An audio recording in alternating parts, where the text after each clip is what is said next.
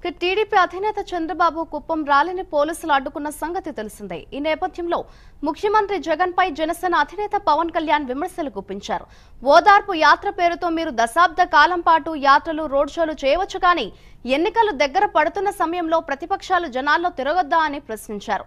ప్రతిపక్షాలు జనాల్లో తిరగడానికి అనుమతించకపోతే ఎలాగని ప్రశ్నించారు. మీరు అధికారంలో లేనప్పుడు ఒక రూలు అధికారంలోకి వచ్చాక మరో రూలా అని ప్రశ్నించారు పవన్.